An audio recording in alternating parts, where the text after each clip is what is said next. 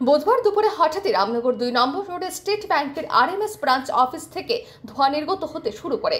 ব্যাংকে তখন গ্রাহক পরিষেবা প্রদানে মগ্ন ছিলেন ব্যাংক কর্মীরা। হঠাৎ অগ্নিকাণ্ডের ঘটনায় সবার মধ্যে চাঞ্চল্য ছড়ায়। খবর পেয়ে ঘটনাস্থলে ছুটে আসে দমকলের একটি ইঞ্জিন। দমকল কর্মীর তৎপরতার সাথে আগুন আয়ত্তে আনেন। এক দমকল কর্মী আধিকারিক জানান, বিদ্যুতের শর্ট সার্কিট থেকে এই অগ্নিকাণ্ডের সূত্রপাত। আগুন যথাসময়ে আয়ত্তে আনতে তারা না গেলে পরিস্থিতি ভয়াবহ আকার ধারণ করত বলে জানান তিনি। কল পাইছি যে রামনগর দুই নাম্বার স্টেট ব্যাংকের মধ্যে একটা ফায়ার করেছে তৎক্ষণাৎ আমরা দেখছি যে টিভি আছে একটা ওই ইলেকট্রিক মিটার বক্সের মধ্যে শর্ট সার্কিট হইয়া ফায়ার হয়েছে তখন আমরা নিবে লিছি বেশি কি হয়েছে না আগুন স্প্রেড আউট হইতে পারছে না। নিবে লিছি কন্ট্রোল করে লিছি।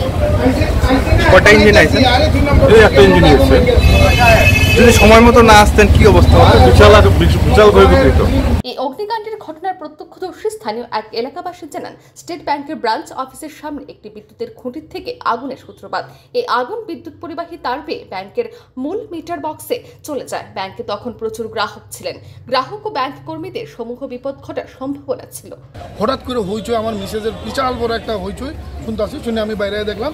ধাউ ধাউ করে আমার সিঁড়ির দিকে একদম ধুয়ো বাড়িতেছে তারপর পরে বার্নিং হইল, তারা এলো, তারা ইয়া তারা ইনফর্ম করল আমার পাড়ার প্রতিবেশীরা। আয়া তারা সামহাও আমরা সার্ভাইভ করলাম।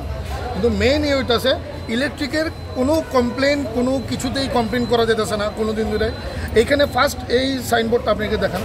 এই প্রথমে এইখানে বার্নিংটা হয়েছে এখান থেকে বার্নটা গিয়া ওই ডিরেক্ট এখানে গিয়ে লাগছে।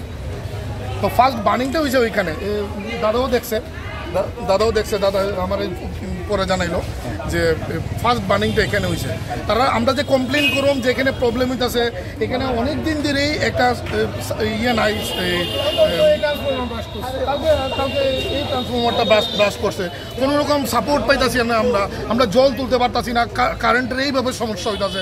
তারপর এমন একটা ডিজাস্টার হয়ে গেছে আজকে কতগুলি মানুষের প্রাণ যেতে পারতো। অফিস টাইমে ব্যাংকে অগ্নিকাণ্ডের ঘটনাকে কেন্দ্র করে রামনগর দুই নম্বর রোড এলাকায় জনমনে তীব্র চাঞ্চল্য ছড়িয়ে পড়ে। ব্যুরো রিপোর্ট আর এ নিউজ